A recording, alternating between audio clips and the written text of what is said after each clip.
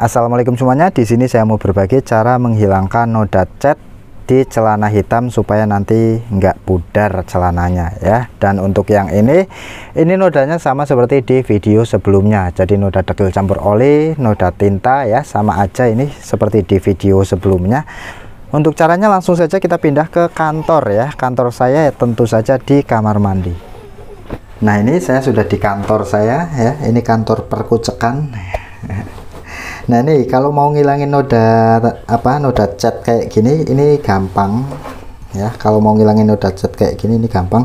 Cuman ini sudah pada pudar nih sudah pada pudar dia. Ini cukup menggunakan ini aja nih.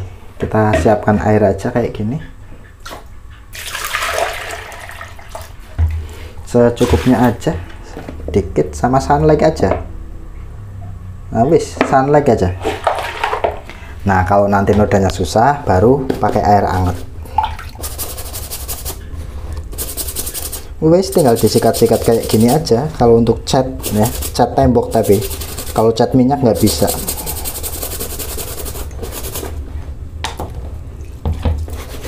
Gerak cepat aja seperti ini. Supaya dia luntur dulu, baru nanti direndam. Supaya makin bablas. Maksudnya supaya kita bisa kontrol nodanya tuh di mana saja gitu kira-kira. Kalau langsung direndam masalahnya nggak kelihatan. Si celana tuh kalau warna hitam kayak gini noda langsung langsung kelihatannya hilang. Jadi kita harus cari tahu dulu di mana nodanya di sebelah sebelah mana gitu.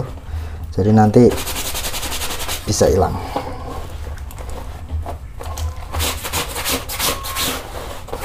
kira-kira seperti ini. Kalau saya kalau lagi kerjaan lagi banyak kayak gini ya mohon maaf rada buru-buru. Ini bantu air hangat nih guys. Udah rada susah ternyata. Air hangatnya juga sudah tak siapkan tuh. Hmm, karena kalau susah ya pakai air hangat kalau nggak susah ya nggak perlu pakai air hangat.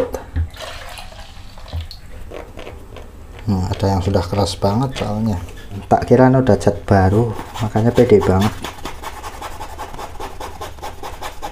Kalau noda catnya baru pakai air hangat apa air dingin aja bisa. Tinggal dikerok. Karena noda cat itu noda yang timbul ya. Kalau nodanya timbul bisa dikerok tapi kalau nodanya ini nggak bisa dipaksa. Kalau nodanya noda-noda jamur noda kuning nggak bisa dipaksa karena dia masuk ke serat kain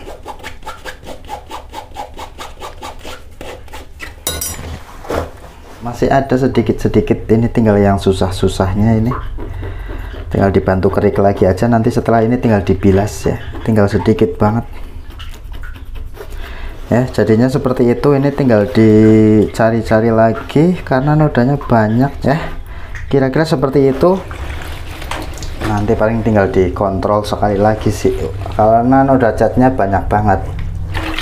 Ini tinggal dibilas dan nanti tinggal kita lihat aja hasil akhirnya ya. Jadi untuk cara menghilangkan noda cat tuh ya seperti itu. Kalau catnya cat tembok biasa ya. Kalau cat air cukup menggunakan air panas sama sunlight sudah bisa bablas tanpa merusak kain. Tapi kalau catnya cat minyak beda lagi ceritanya. Mungkin itu saja videonya. Semoga video ini bermanfaat. Jangan lupa like share jangan lupa di subscribe terima kasih. Assalamualaikum warahmatullahi wabarakatuh. Sampai ketemu lagi di video selanjutnya ini tinggal digosok aja